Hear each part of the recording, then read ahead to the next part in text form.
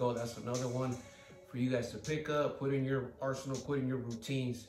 It's a basic, straightforward movement, foundational movements, one pump through 10 pump. Go ahead and do what you got to do. Hopefully this can help you out. I guarantee you, you're going to be sweating, you're going to burn calories, and you're going to build muscle.